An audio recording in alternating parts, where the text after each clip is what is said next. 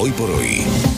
Hola, muy buenos días. Dentro de una hora empieza la sesión de control al Gobierno en el Congreso de los Diputados, el primer cara a cara entre el presidente del Gobierno, Pedro Sánchez, y el líder de PP, Pablo Casado, después de que este último rompiera públicamente con la ultraderecha y apuntara el inicio del camino de la moderación. Hoy le va a preguntar al Gobierno qué es lo que está haciendo ante la nueva ola de la pandemia. En la pregunta y en la respuesta podremos medir el grado de acercamiento entre el presidente y el líder del primer partido de la oposición en un momento en el que la legislatura pasa por dos asuntos claves. La emergencia, con el decreto del estado de alarma, y el largo plazo, con las cuentas del Estado, los presupuestos cuyo proyecto conocimos ayer y que hoy van a llegar al Congreso. Y no se puede disociar este momento clave de la legislatura de la situación de la pandemia, de una gravedad extrema, ayer con 267 muertos, y que exige todo el consenso y toda la unidad posible para salir de ella e intentar paliar también el impacto económico que está teniendo. Ayer, por ejemplo, conocimos el del paro